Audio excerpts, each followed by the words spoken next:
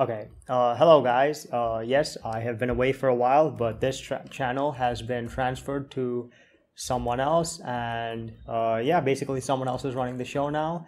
Um, the older content creator wanted to keep anonymity, and now I am here. Okay, and the style has also changed a little bit. I hope you guys like it. Okay, so now we are going to start to- discussing topics that um, the older content creator always wanted to discuss, but he cannot discuss it because of the nature, so he just gave up the channel. And yeah, now the topic's are going to get fun and things are going to change up a little. So I'm going to try some new stuff. And yeah, let's hope it works. Okay, let's get into the video. Singapore is fake. Everything you know about it is a lie, okay? Um, I'll explain what I mean by that in a second, but here are some uh, statistics that people always give about Singapore. Oh, look, it has a high GDP per capita. People make a, a lot of money. They have a low homeless rate. I'll explain what that means in a second. Um, they have good public infrastructure. This as well is this is also another common point. People make a lot, um, but the thing is, I'll explain that later as well. And a clean government. The the government is very clean and no corruption. This is also um, wrong. I'll explain this. And now this point I'm actually going to just skip. Um, this is a very political point and this uh, offends people a lot. So I'm, I'm just going to skip this. Um, long story short, um, the, the drug policy was basically, I don't like this because black people, but I like this because white people. Uh, the person who started the war on drugs admitted this himself. And then next would be um, the founder being a prophet or a god. Um, as we know, um, Many people worship this guy. This it would be the example of the greatest history revision I have ever seen. And yes, we got a cute little eraser. It erases the history and then they rewrite it to make it nice. And this has basically been happening in Singapore for a very long time. Now, sources. Let us begin with some sources. So what sources do I have? My sources that I made it the fuck up. Or am I just talking out of my ass? Like the. Well, I am actually not. So the first would be a blog by this guy called Kenneth J. Jeyaretnam. I hope I'm pronouncing his name right. Now, he is actually JB Jeyaretnam's son. Now, this guy was the founder, this person here is actually the founder of the opposition party who opposed uh, the PAP back in the day. And Kenneth Jeyaretnam was also around when Singapore was literally being built. Uh, this, his dad is basically older than Singapore as well. These guys or almost, I think. These guys have basically seen Singapore um, through its industrialization. Kenneth over here also has a degree of economics from Cambridge, okay, Cambridge. I don't know how to spell it. Uh, so he is very smart, IQ plus. And of course, we have Senator Armstrong. Uh, my source is that I made it up. That is also obviously there. There is going to be a little bit of my opinion in here. Now there is another. Now there are two main sources which um, really opened my eyes about this country. That would be Michael Haas. I think this is a German name, and I don't know how to say this, but this one, this this one is really good. I got this one from JSTOR, and I got this one from Taylor and Francis. Now, is peer reviewing perfect? No. So you have one dude who one dude who writes an article, and this article gets looked at. You can see this is the scientific parallax error I. Okay, it gets looked at by a bunch of other scientists um, IQ plus. And these scientists basically say, all right, how, how much bullshit is written in this? Um, I, I don't actually know. All right, you see this? This is bullshit, guys. Okay, how, how much bullshit is inside this? And now these two pieces, they are. This one is a little bit opinionated. Oh, does that say good? I'm sorry. That's supposed to say G-O-O-K. Wow, I fucked that up. This is the correct spelling. Now, this one is a little bit opinionated, all right? But this, this one is pretty factual as well. But, all right, these two, they don't say anything crazy, if you know what I mean. They generally keep it pretty low. They present statistics, and they make a case. They make points. And these points are not that out of the picture. Now, there's another book called Authoritarian Rule of Law that was written by Jothie Rajah, but I'm not, I might talk about that in a future video. That is also something definitely worth the read if you are interested in this country. Now, these two articles came from Journal of Contemporary Asia. And uh, Kenneth Jeyaretnam also runs a blog. now, in the blog, um, Kenneth Jeyaretnam makes a lot of points. Okay, so there is a point, and he backs it up with statistics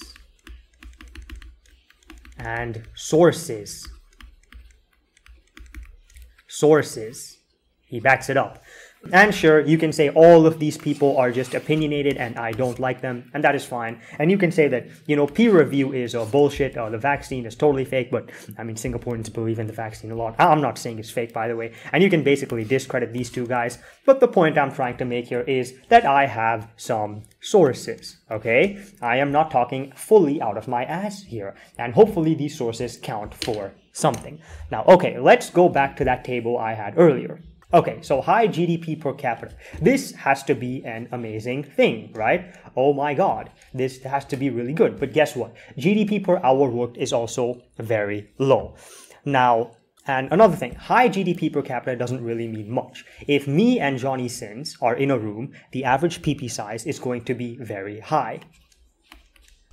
But that does not mean my PP is large. Not large right? Average or per capita doesn't mean much. Uh, by the way, the porn thing was a just, just, just, just a joke. Porn is really bad, guys. Stay away from that shit. Read Your Brain on Porn by Gary Wilson. You get the point. Now, the Gini coefficient is basically money. I mean, this is usually called wealth or whatever. And then you have cumulative, I mean, hang on, I think cumulative percent. You have cumulative population. So basically, as you go across the x-axis, this is 100% of the population, and this is zero, and this is like 50 all right? And then you have basically money. So this is the line of equality, which means 50% of people have 50% of the money, 0 have 0%, 25 have 25%. And usually countries' curves will look something like this. You'll have more concentrated in the top percentile and basically less for these guys. Now the Gini coefficient is this area divided by the entire triangle area. So the higher the Gini coefficient, the lower the equality, right? Uh, now, am I saying equality is good? I mean, I don't know. I'm, I'm just making a point here, okay? I'm not trying to say like, oh, equality. But generally, equality is kind of good. If you have large amounts of inequality, uh, that's usually not a good idea. India, okay, the country that everybody calls a corrupt shithole, has a lower Gini coefficient than Singapore. So he you think about what that means, right? Now let's talk about homelessness, okay? Singapore has a really low homeless rate, which has to be a good thing, right? But let's actually look into that. So I'll play this video by a Singaporean guy basically telling us about the freehold titles. The Land Acquisition Act in Singapore triumphs over your freehold property title. The number this means if the government wants your freehold piece of land for the purpose of nation building, it will come to you and pay you at a valuation price, and you would have to surrender your piece of land to the government. Three, if the government wants your piece of land, they will have it. And I want you to think about it. If the situation is like this in Singapore, where things are so transparent and uncorrupted, what do you think about investing in overseas properties like villas in Bali or even building hotels in Vietnam? Okay, you guys watched it. Now you can understand why I have a problem with this. People in Singapore are not people in Singapore basically are homeless because the PAP, which is the governing party in Singapore, basically owns all of the land. That's right. Basically, all of Singapore, which looks something like this, this is like a shitty drawing. It looks it looks like this. Okay, you see, all, all of this is owned by the PAP, right? Houses or HDBs here are leased on 99 years. Okay, this is not ownership. Okay, I don't know why this is called ownership. More than 85% of Singaporeans live in these HDBs, 85% of the population in Singapore. And many people say it's like, wait, but Sid, how, how does the how did the government like how does the government own so many houses? Well, they use this thing called the Land Acquisition Act to basically get land they, they acquired land through this act at uh, lower prices. They basically force people to sell to them, and they use it to develop this um, quote unquote public infrastructure, which I'll talk about slightly later. Okay, now we will talk about something that is arguably my favorite topic. Okay, now we will talk about clean government. All right, so I'll explain to you a scenario in Singapore. Now, before we begin, corruption agencies are owned by the government. So the thing they are supposed to invest, investigate. So these guys are supposed to investigate these guys. They're supposed to keep an eye on these guys. Okay? But these guys own these guys. So, what? I'll, I'll talk about what this is later as well. Corruption agencies, land management agencies, and virtually LTA, every single agency in Singapore is owned by the PAP. Right? They own everything. So it's like, I'm going to be prosecuting myself. You know what I'm saying? Right? Pure irony can be seen when Shanmugam, Minister of Law, said, Who will watch the watchers? Uh, this is like, I think this is a Latin quote.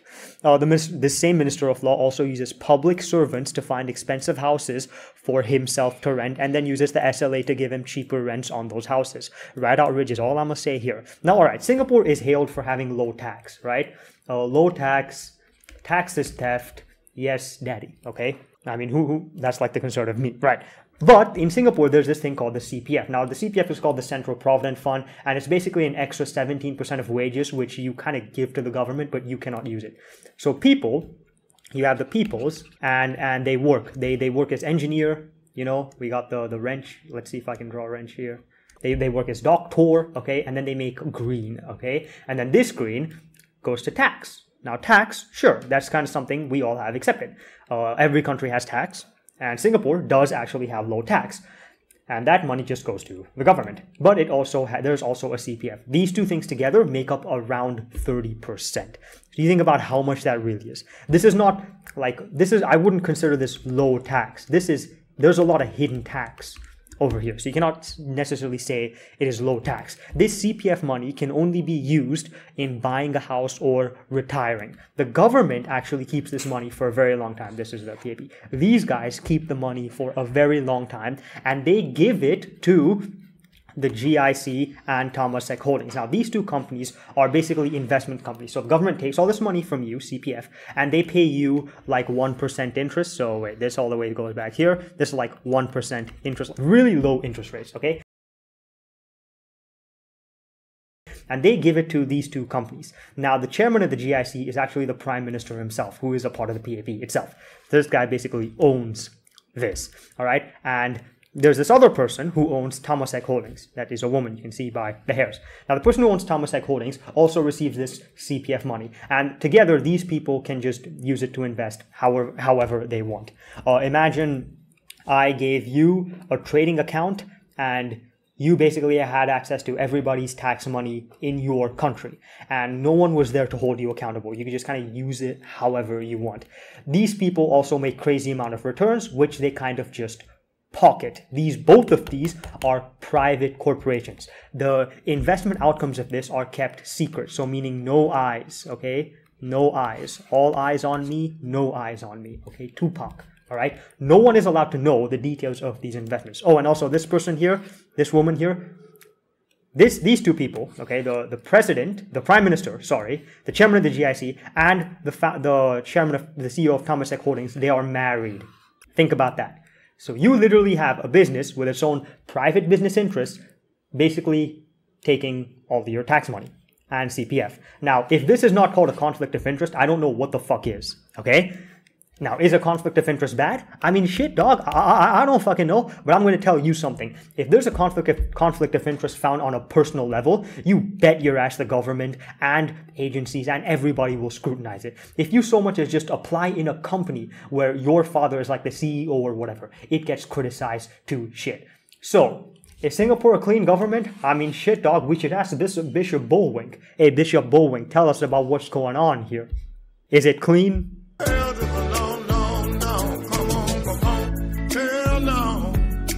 Right? So again, low tax and effective government, uh, your tax ain't low, buddy. This is not low. It's lower than New York. Yes, no, New York has a very large state tax. It's lower than Europe. Yes, but it is not low. Do not give me that bullshit. Right? There is no health care and there's no healthcare here as well. Now, if this is considered clean, if all this I just showed you, okay, if this is clean, then shit, dog, the browsing history for porn addict is clean, okay? Now, the history might be clean, but the brain is fucked, right? Stay away from that shit, people. Now, again, Singaporeans, again, they don't know what their government is doing. Accountability, none of that, okay? It is illegal for them to know. Okay, now I will get to the point of good public infrastructure. Hang on, let me get my my slides. Okay, now if I compare my PP size to a micro penis, it is going to look okay, quote unquote, but it's still small. Singapore public transport, let's say it exists It is better than uh, New York. It is better than um, Texas. Okay, it is better than um, certain Indian cities. And you know what? Good for that. I'm glad they figured it out. But it is still horrible. Now you see these red spots like over here, over here, over. These red spots are high density housing. Again, keep in mind that the PAP basically owns this entire thing. They own everything here, okay? Now, I don't want to sound weird, but in Singapore, you got all these quote unquote normal slash average income people wedged into zones like this. And then you got people like uh, the politicians, minister of law, foreigners, okay, who come in and they live in like these extremely low density uh, luxury building style houses. Now, many of you can simply say, oh, well, Sid, uh, they can afford it and most Singaporeans cannot. To which I would simply ask, it's not about that. What I'm hinting at is I'm hinting at ineffective land management due to zero accountability, opaque government. This land is not allocated properly. You might think, oh, look, there's a lot of green patches here. These green patches are not, this is not wildlife reserve these green patches are not actually sustainable. They don't actually contribute to anything much. They are just for show. They don't lower global warming. Oh, the Singapore Zoo is also located here, right? This is not fucking Amazon River with like hippos and shit. This is just fakeness, if you will. I think something fishy is going on here. I'll Talk about it more later, but this is not effective land management at all. This to me looks like poor people being wedged into certain zones while rich people get the rest of the city to basically fuck around. That is what I think is really going on here.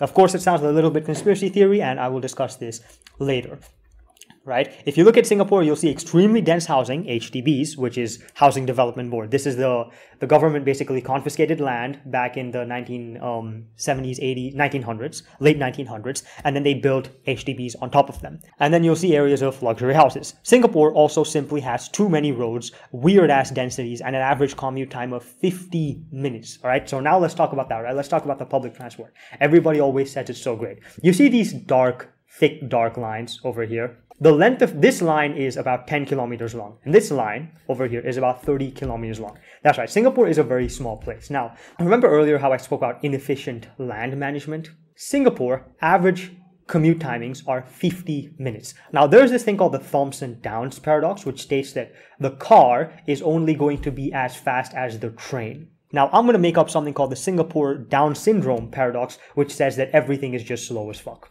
In a country this small, these two black lines represent virtually the entire city. And you see these two thinner black lines here. This is a very short distance. This, you should be able to cover this entire dark line extremely quickly. In fact, you should be able to cycle it. If you really think about it, 30 kilometers is not actually that much. Now, obviously, you don't need to do the whole 30 kilometers the whole time. This area is supposed to be very easy to reach from a distance point of view. Yet, it seems to take forever why? Again, the 50 minutes average commute time should call things into suspicion. This land is not handled efficiently, and these guys are not held accountable to anything.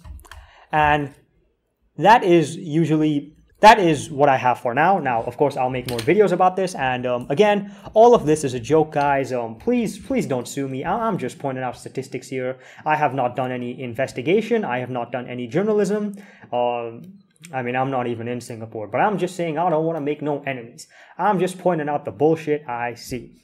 Thank you for watching. I'll make more videos later and have a nice day.